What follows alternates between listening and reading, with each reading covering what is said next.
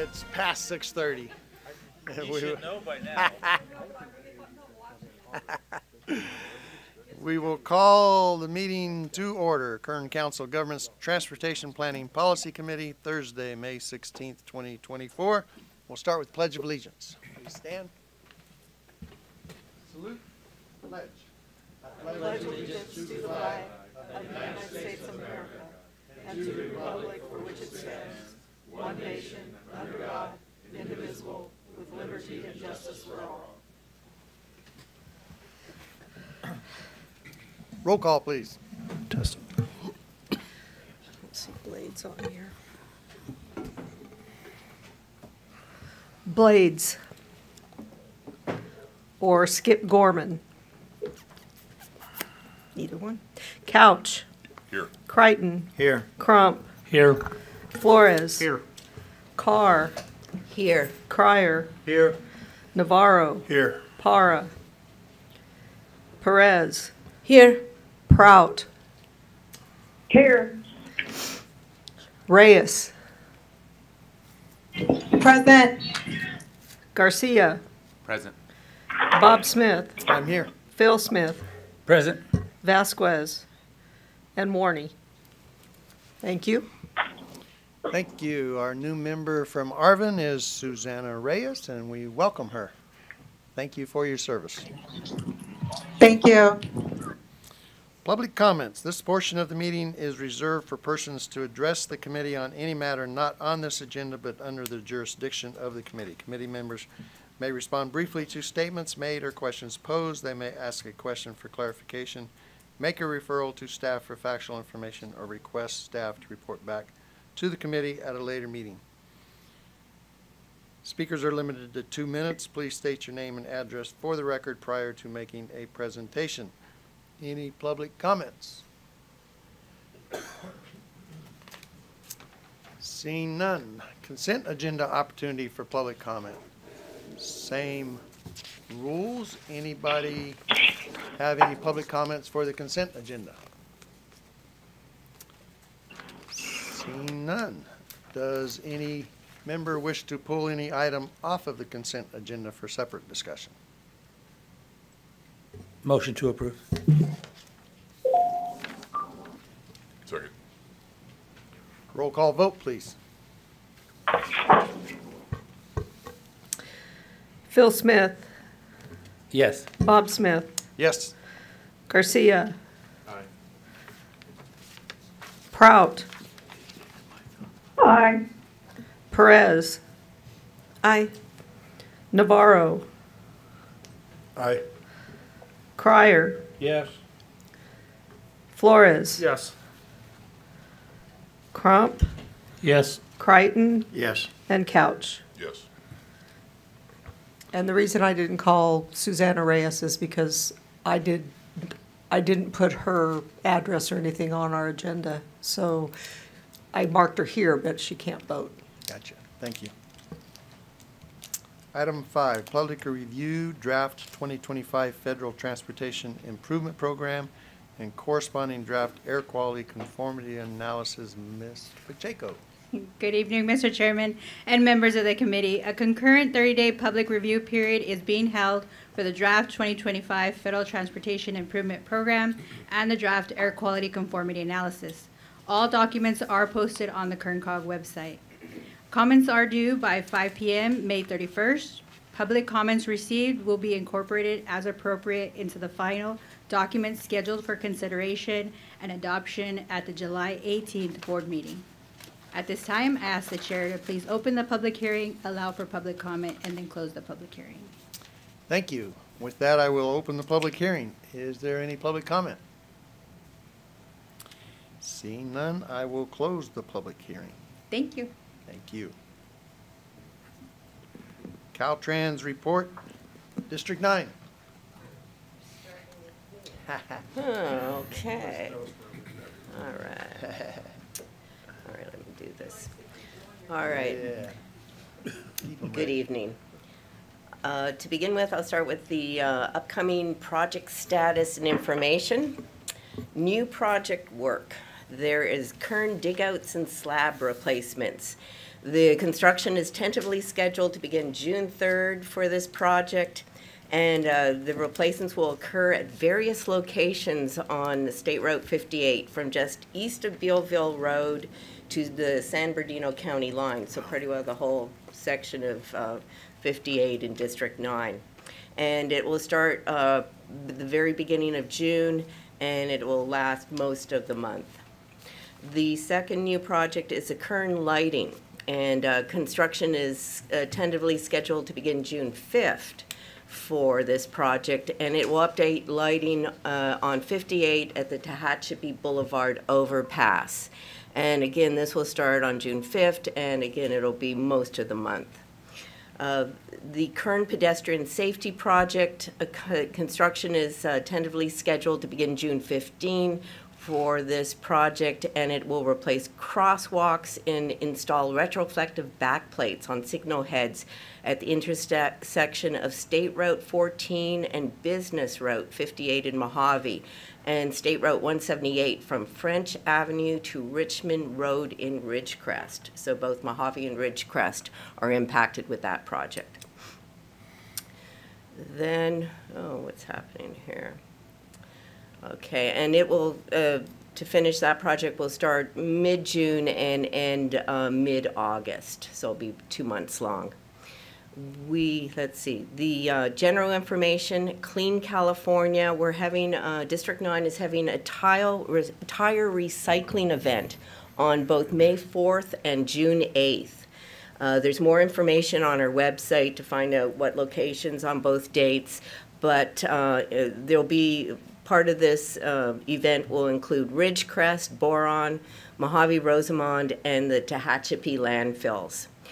Uh, We also, uh, planning, District 9 Planning recently met with Jay Schlosser uh, to, for a kickoff meeting for the um, the PID, the, to start the uh, project study report for the 58 into Tehachapi Boulevard operational improvements. So we're excited by that.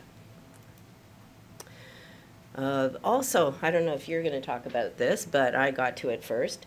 Uh, Clean California has released an interactive map that spotlights hundreds of beautification projects funded by Clean California. And I will put the, um, I'll put the link in the chat, but I looked on the map, it's really nice. It, there's about 319 projects for the whole state. And in East Kern, ooh, there's the Tehachapi Valley Boulevard Recreational Park, Ridgecrest, there's the Leroy, Leroy, Leroy, Jackson Sports Complex improvements.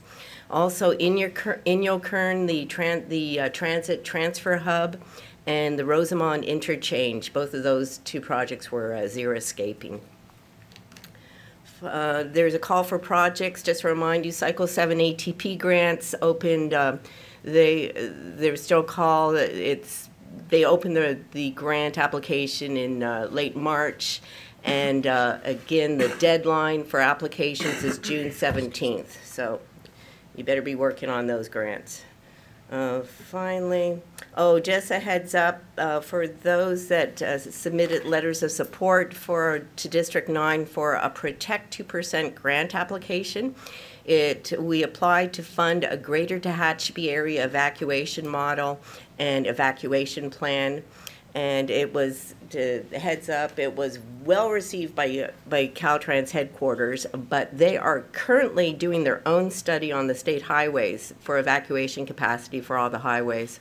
And that will be finished, uh, probably the end of summer, and then we are uh, invited to reapply uh, with the new information from the state study to augment our application. So we will continue with that.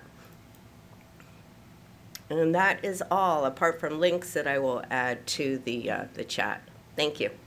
Thank you. Any comments or questions for District Nine?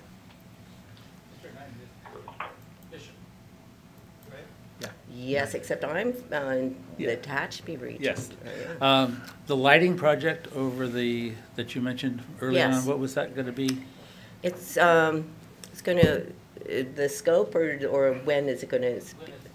It's gonna start approximately June fifth, and it's scheduled for twenty working days, so.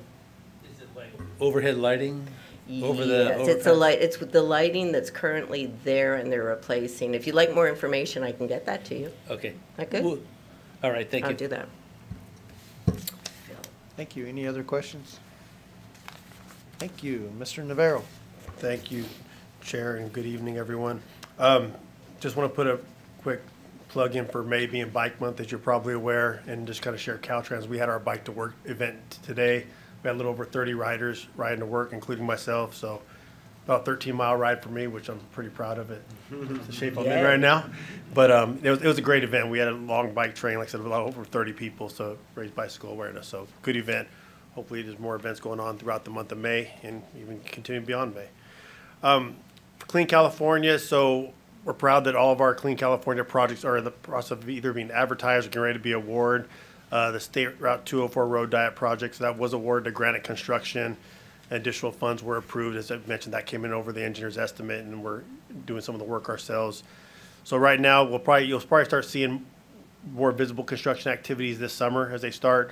Um, they're in the process of getting some of the artwork approved currently, um, so that has been awarded and construction's technically starting. You probably saw Garcia Circle, there's work that's already started there for that project. Um, they're also going through the process of getting artwork approved through Caltrans Legal. Uh, the McFarland Delano project is ongoing, they're about fifty percent complete.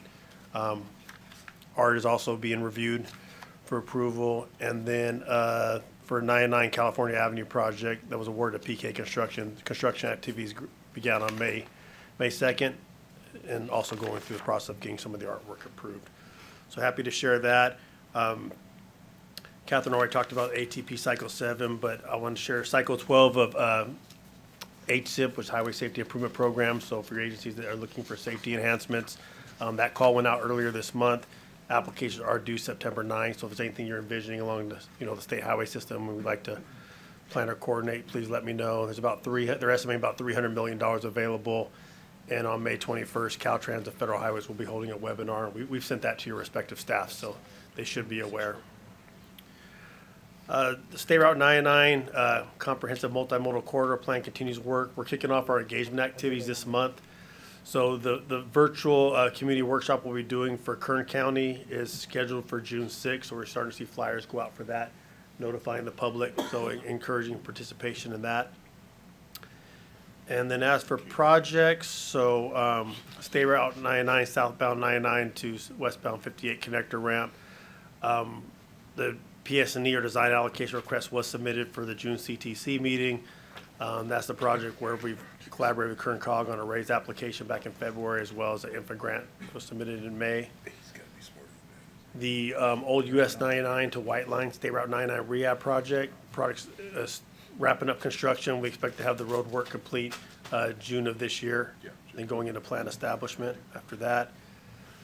The uh, Santa Fe roundabout and Shafter, so it's, it's in the design phase. We expect to have design wrapped up by June 15th our target date. And then we'll be working on uh, securing permits from the Bureau of Reclamation. So construction of that project is, is still a couple years out. The State Route 46 segment 4C, uh, construction's progressing. Um, Scheduled completion is this summer, and we are uh, planning on having a ribbon cutting ceremony.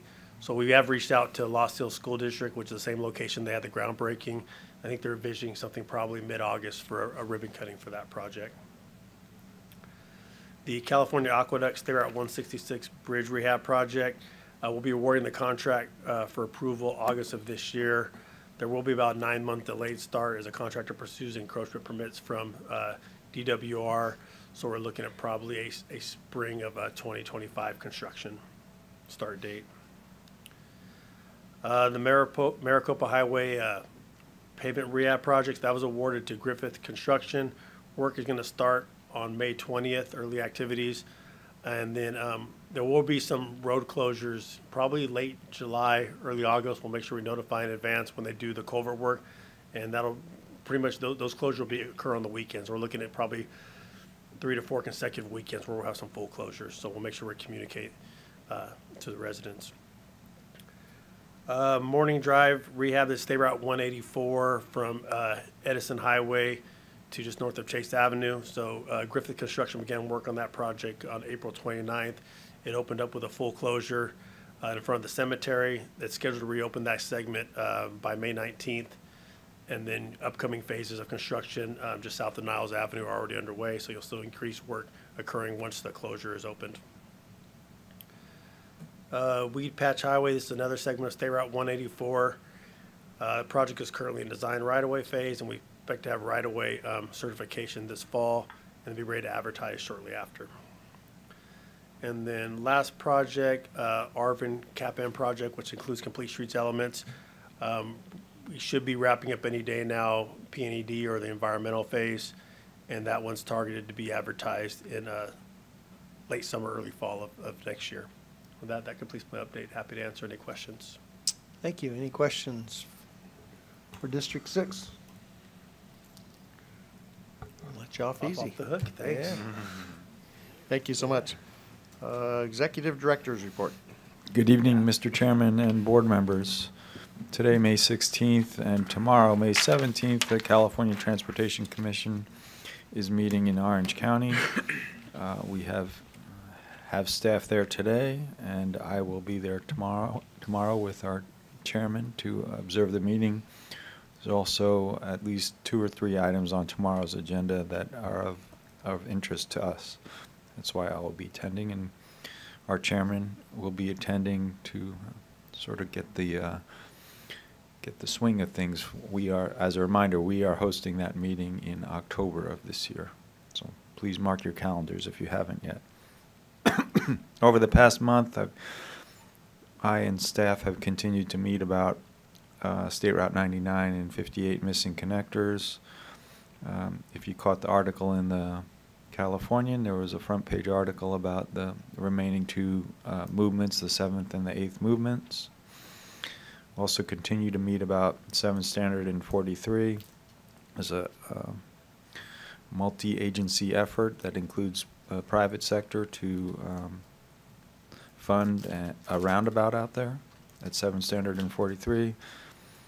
The uh, safety improvements that I've spoken about on uh, State Route 33 are underway. State Route 46, just earlier this afternoon, we met about um, the progress of 4C. Michael, you mentioned um, August, that was confirmed today. I think it's uh, tentatively scheduled for the third week of, of August. Contractor is uh, anticipated to be done sometime in July, depending on um, how much production he gets out of his paving. Paving will likely start in June and be done in July. Uh, Continue to meet on the truck climbing lanes on State Route 58. And staff also participates in the State Route 119 stakeholder meetings. I want to personally thank Chairman Smith, um, who along with uh, uh, Assemblymember Fong and the CTC Chairman Guardino and I met uh, discussing our concerns over um, the eighth movement there at 58 and 99. We're going to follow up that meeting with a meeting with Senator Grove and the head of Caltrans that is uh, scheduled for June, and I will let you know how that goes. Subject to any questions, Mr. Chairman and board members, that concludes my report. Any questions for the director? Yes. On your discussions on the truck climbing lanes, is there any update on the right-of-way schedule for uh, purchase or obtaining the right-of-way around the Bealville area? Uh, No updates specific to the right-of-way, but there is good news. uh, I think it's good news. Dis- District 9 um, was not able to stay on the schedule that they initially uh, planned, and they've asked District 6 to help them, and District 6 has agreed to do it and has a a competent team delivering, um, I know the engineering, but they may be helping on the uh, right-of-way too. Michael, would you mind finding out exactly? I know you're for sure helping with the engineering, maybe the right-of-way too, but that's good, nu- good news. uh, It's appreciated, the collaboration, both districts, because that's, that's the, the boundary right there, isn't it? For, all right, thank you very much, both. Any other questions for the director? Seeing none, we will adjourn that meeting and open the Kern Council of Governments meeting. Same roll call. Any public comments for the Kern council of governments meeting?